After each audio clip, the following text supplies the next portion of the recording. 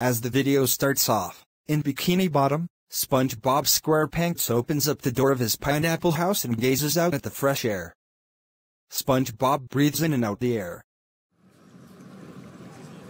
Ah, what a beautiful day. Thank Neptune. I think I'm gonna go for a drive. But first, I'm gonna go get my best friend Patrick Star. SpongeBob walks next door to a rock where his best friend Patrick Star's house.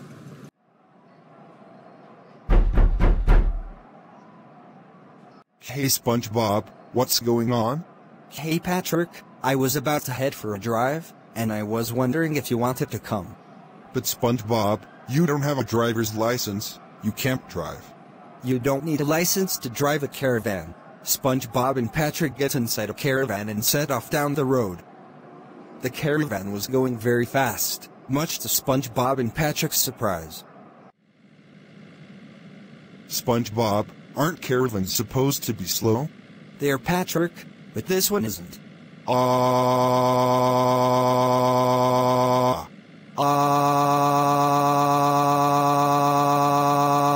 SpongeBob and Patrick's caravan starts driving at very high speeds all around Bikini Bottom for about 40 seconds, and it drives them in and out of the ocean, with the two friends screaming for their lives, and they end up in a forest, and the caravan runs out of gas. Barnacles, we've ran out of gas. SpongeBob, do you think we should set up a campfire here?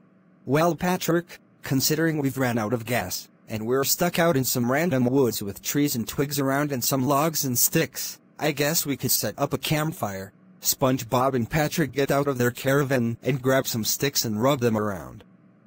The two friends sit near the campfire. Pat, this campfire is really cozy. Thanks for agreeing to let us camp out here. Even though we have no tents. Thanks SpongeBob, I suppose we could sleep on the logs that we're sitting on. Okay. SpongeBob and Patrick go to sleep on their logs. The next morning, the two friends fill their caravan up with gas and continue on their journey. At least we're back on track. SpongeBob and Patrick's journey takes them out of the ocean and into the world of Limerick.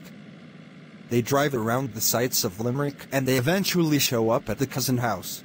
SpongeBob and Patrick get out of their caravan and walk up to the house, and they run into Lenny and Charlie. Lenny communicates with SpongeBob, and Charlie communicates with Patrick. This place looks very unnatural. SpongeBob, Patrick, what are you guys doing here? Wait! How do you know our names? Because I know who you are. I've seen your TV show. I see you've brought Patrick with you. Why didn't you bring the rest of your friends along? Oh, I must have forgot to ask them if they wanted to come along. I just asked Patrick to come. That's okay. It's fine with just the two of you here. You must be SpongeBob's fat, dim-witted, and idiotic best friend. Patrick Star. Hey, don't call me that, you fat, disgusting child. I'm just kidding. And so was I.